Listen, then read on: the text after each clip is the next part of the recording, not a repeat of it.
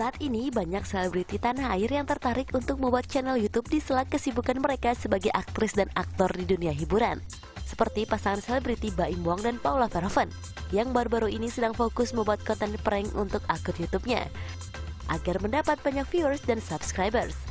Channel YouTube yang baru mereka buat 6 bulan lalu ini hingga kini berhasil mendapat lebih dari 3 juta subscribers Bahkan di video terbarunya, pasangan yang menikah pada November 2018 lalu itu menyamar menjadi seorang pemulung untuk melakukan prank kepada masyarakat sekitar. Wajah pria berusia 37 tahun itu pun ditempeli sebuah bahan plastik dan kemudian dirias agar wajah aslinya tidak dapat dikenali oleh publik saat dirinya menjalani prank tersebut. Sedangkan Paula menutupi wajahnya dengan masker dan selendang serta memakai wig dan duduk di dalam gerobak. Aku makan, Bu. Makan. Istri saya kasihan, Bu.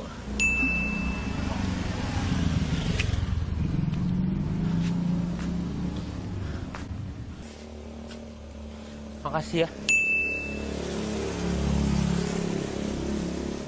Nih, Pak, saya balikin ya. Saya sebenarnya cuma pura-pura aja. Mana sini? Yang bisa dapetin ini dikasih uang. Terima kasih. Kamu baik, kamu baik. Video yang diunggah kemarin itu pun sudah ditonton lebih dari satu juta kali dan berhasil menjadi trending 12 di YouTube.